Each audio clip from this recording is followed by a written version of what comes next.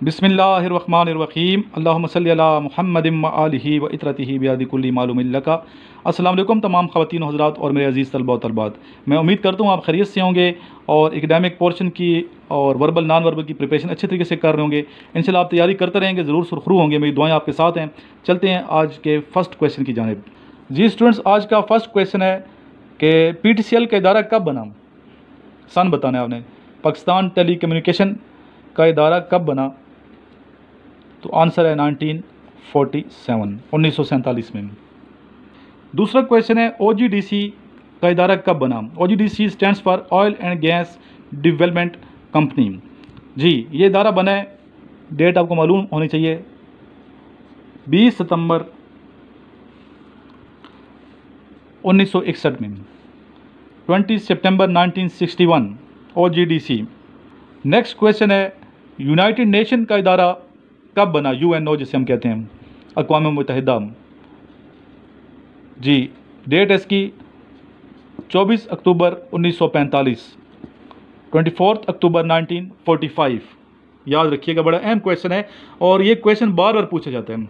पाकिस्तान का सबसे largest city कौन सा है? जी, सबसे लार्जेस्ट सिटी है पाकिस्तान का कराची।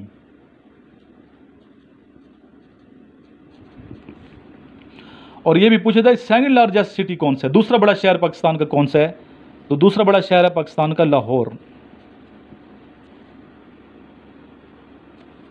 यानी कि आबादी के लिहाज से सबसे बड़ा शहर कराची है और आबादी के लिहाज से दूसरा बड़ा शहर लाहौर है।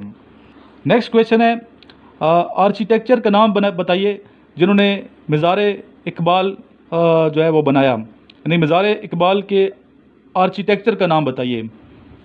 आर्किटेक्चर तो आपको पता ना किसे कहते हैं? यानी कि उनके डिज़ाइन करने वाले जो मज़ार इकबाल को डिज़ाइन करने वाले, उनका नक्शा बनाने वाले मज़ार इकबाल का तो इनका नाम भी आपको मालूम होना चाहिए। जी, इनका नाम है नवाब जैन यार जंग बहादुर। जी नेक्स्ट क्वेश्चन है N R O stand for यानी कि एन आर ओ किसकी एब्रीवेशन है? ये आपको मालूम होना चाहिए। जी, ये एब्रीवेशन है नेशनल रिकॉन्सिलिएशन ऑर्डनेस ये वही एन आर ओ है जो अक्सर इमरान खान, जो प्राइम मिनिस्टर हैं, पाकिस्तान कहते हैं एन आर ओ नहीं मिलेगा। कान खोल के सुन लो। जी स्टूडेंट नेक्स्ट क्वेश्चन है Asia cup 2018 held in which country जी, इसका आंसर है U A E United Arab अमारात जी, अगला क्वेश्चन है plus twenty is international code for which country ji answer है इजिप्ट इजिप्ट यानी कि मिस्र. जिस तरह पाकिस्तान का कंट्री कोड है ninety two plus ninety two इस तरह इजिप्ट का प्लस ट्वेंटी है। जी, अगला क्वेश्चन है which country built world longest sea bridge जी। किस कंट्री का जो सी ब्रिज है, सबसे तवील है, लंबा है समंदर के ऊपर जो ब्रिज बनाया हुआ है, किस मुल्क ने बनाया हुआ है? तो आंसर है इसका चाइना जी, अगला क्वेश्चन है which is the world's largest online social network with 1.5 billion daily user. जी, the answer is Facebook. बहुत दुनिया इस्तेमाल कर रही है फेसबुक और बहुत ज़्यादा यूज़र हैं इसके फेसबुक के तो ये आपको मालूम होना चाहिए। जी नेक्स्ट क्वेश्चन है how many states does Sri Lanka have यानी कि श्रीलंका की कितनी स्टेट्स हैं total the answer is nine ji student ये मेरे दोनों नंबर आपके पास होने चाहिए। ऊपर व्हाट्सएप वाला नंबर है जिस पर सिर्फ़ व्हाट्सएप आप कर सकेंगे।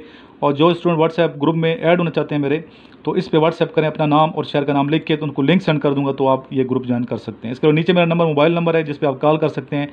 अगर किसी स्टूडेंट को नोट्स चाहिए इनिशियल टेस्ट के और आईएसबी के ज़रूर मंगवा लें। बहुत मेहनत की गई है, दिन रात एक की गई है नोट्स पे तो आप मंगवाएँगे। इन ताला जिसने भी मंगवाएँ, सुरखरू हुआ है और जो भी स्टूडेंट मंगवा रहे हैं डेली बेस पे 100 परसेंट आप सक्सेस हासिल करेंगे अगर आपने ये नोट्स याद कर लिए तो। आइए लास्ट में दरूशी पढ़ते हैं और दरूशी के बाद फिर आप स्टूडेंट्स की कुछ वीडियो देखेंगे, जो इन ताला आपके इल्म में इजाफा करेंगी।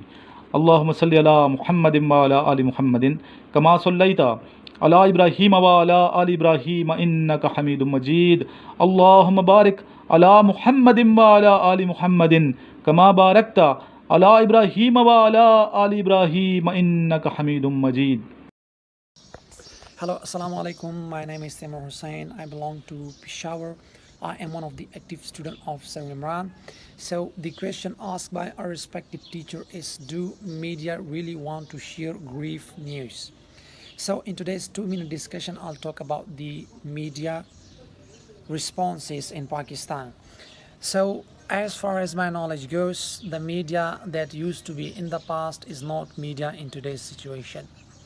Media do share grief news, media do share fake news, media do share frightening news, media do share irrelevant news, and media do share some immodest, some uh, like affecting personalities news.